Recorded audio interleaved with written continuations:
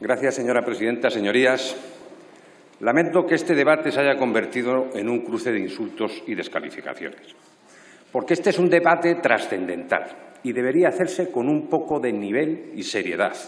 Y es que estamos hablando de las bases de nuestra democracia, del pluralismo político, de la libertad de ideas y de las funciones y límites de los partidos políticos que son una pieza clave de nuestra arquitectura constitucional como instrumentos de participación y fortalecimiento democrático. Miren, señorías, yo tuve el honor de ser ponente de la Ley de Partidos del año 2002.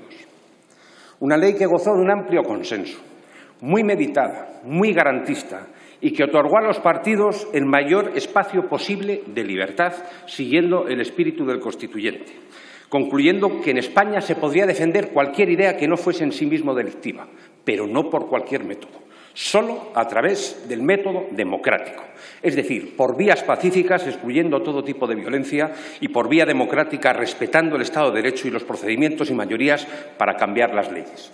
De la ley a la ley, señorías. Por ello establecimos en la propia norma un catálogo de conductas proscritas y unos principios de obligado cumplimiento cuya vulneración podría dar lugar a la ilegalización de un partido.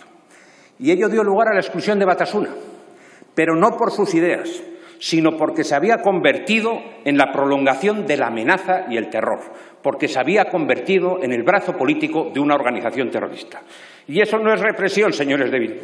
Ustedes podrán ser legales y defender las ideas que quieran, pero todavía les falta un largo camino para ser demócratas hasta que no reconozcan que el verdadero conflicto que el verdadero conflicto que se vivió en el pasado fue la existencia de una banda de asesinos que dejaron a su paso un reguero de sangre y de víctimas inocentes que nosotros nunca vamos a olvidar y que además serán un referente de libertad para nuestra democracia.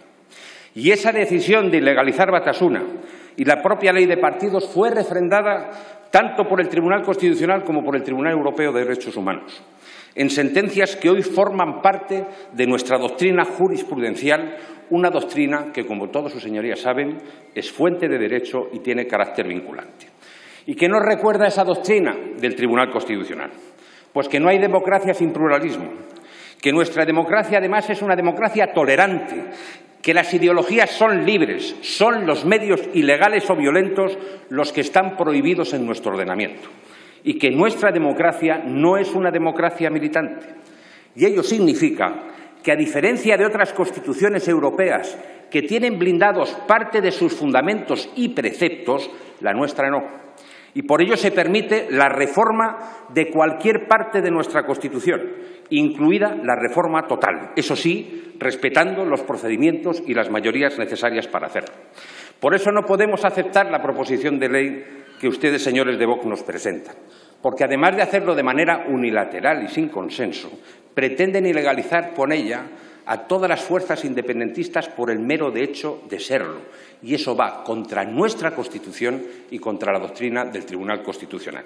Y es que, miren, cuando se defiende la Constitución hay que defenderla entera, no solo la parte que conviene. Y de la misma manera que cuando se invoca la doctrina constitucional hay que invocarla completa, no solo la parte, la parte que nos interesa, como usted ha hecho en esta tarde, señor Espanosa los Monteros.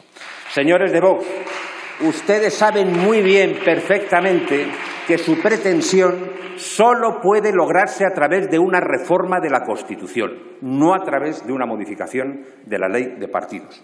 Por eso esta proposición de ley no es el camino, porque además terminaría convirtiendo en víctimas y fortaleciendo a quienes tanto ustedes como nosotros queremos debilitar y combatir políticamente. Y es que en España, señorías, se puede ser nacionalista o independentista, de la misma manera que se puede ser autonomista, internacionalista o centralista.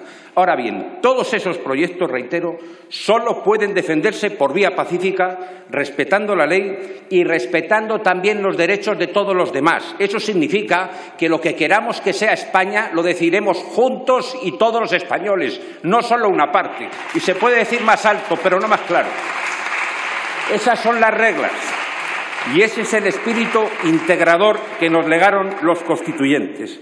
Ese es el espacio fruto de la concordia de la transición, que en palabras de mi compañero Adolfo Suárez no consiste en que todos pensemos igual, sino en el lugar en que podamos convivir los que pensemos diferente. Y me dirán desde algunas filas que el problema es que en los últimos tiempos algunos partidos se han convertido en opciones abiertamente secesionistas. Me dirán que desde algunas instituciones se han incumplido las obligaciones constitucionales y que se han cometido actos ilegales. Es cierto, de la misma forma que nuestra democracia ha demostrado que tiene instrumentos para defenderse y ha reaccionado aplicando, por ejemplo, el 155 y la vía penal contra quienes cometieron hechos delictivos. Y sin duda habrá que seguir fortaleciendo y desarrollando esos instrumentos en defensa de nuestra democracia.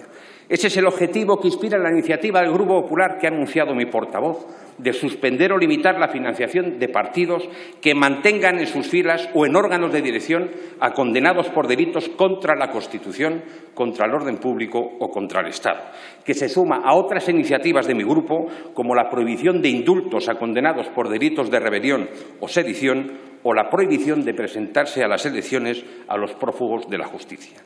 Y es que, señorías, en un Estado de Derecho nadie puede imponer por la fuerza sus ideas a los demás por encima de la ley. Tampoco por encima de la ley de partidos que sigue vigente.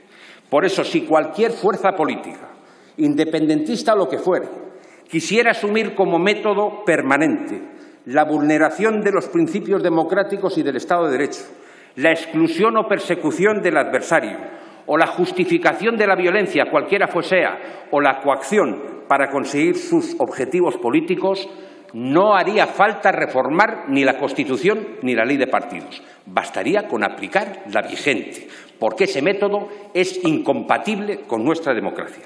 Y esa sería su responsabilidad, señores del Gobierno, porque esa vigilancia y esa aplicación les corresponde por ley a ustedes, al Gobierno y al Ministerio Fiscal. En esa línea espero que tomen buena nota de los informes de la Guardia Civil sobre los CDR que acabamos de conocer, para saber quién está detrás y quién financia a esos grupos a quienes la Guardia Civil les acusa de actos de terrorismo. Pero me temo que ustedes, señores socialistas, están en otra cosa. Me temo que ustedes están en reformar el delito de sedición para favorecer a los presos y en impulsar una nueva mesa de negociación con Esquerra. Por cierto, ya nos explicarán qué significa lo que ha dicho la portavoz de Bildu esta tarde de que están condicionando al Gobierno. Y miren, termino. No sé qué pretenden negociar en esa mesa con Esquerra y con Bildu, pero les advertimos que no vamos a aceptar ningún atajo. No sé si ustedes son capaces de traicionar sus principios a cambio de un plato de lentejas para, para continuar en la Moncloa, pero nosotros no. Nosotros desde el Partido Popular vamos a seguir defendiendo los principios que siempre hemos defendido. La unidad de España, la soberanía nacional, el cumplimiento de la ley, la igualdad de derechos y la solidaridad entre españoles. Esa es la España de la libertad y la concordia en la que creemos. Esa es la España constitucional que siempre vamos a defender. Muchas gracias, señor Bermúdez de Castro.